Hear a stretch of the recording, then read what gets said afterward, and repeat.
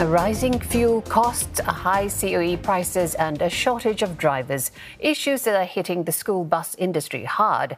It's forced some operators to raise prices and push some parents to opt for public transport instead. Claudia Lim reports. It's 1 p.m., nearly the end of a school day.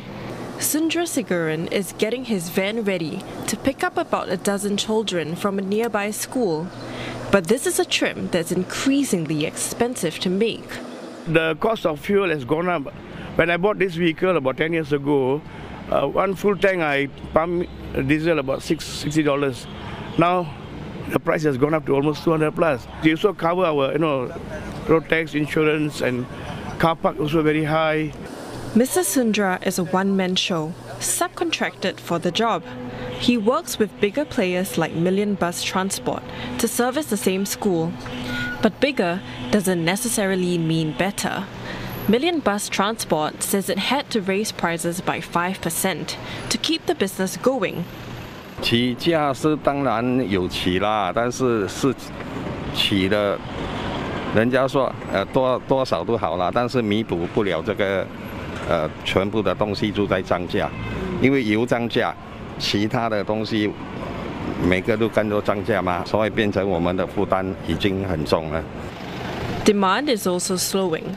But there were 36 buses servicing the school three years ago. There's now only 25. And the number of students taking their buses has fallen by about one third. Meanwhile, at the other end of the school, parents and helpers are taking their little ones home by public transport.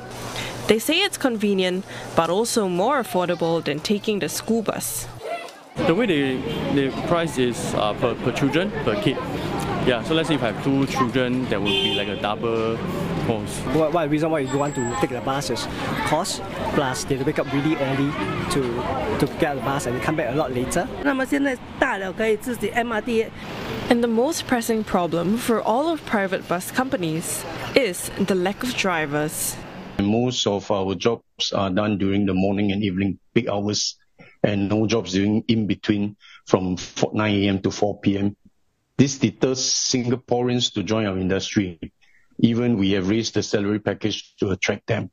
70% of the drivers uh, our members have are more than 50 years and above. So if nothing is done, we'll have fewer buses drivers uh, in years to come. The association says it hopes the government might consider allowing more non Singaporeans to drive the buses. It fears that if nothing is done, there would be fewer drivers not just to take children to and from school, but also workers to factories and offices.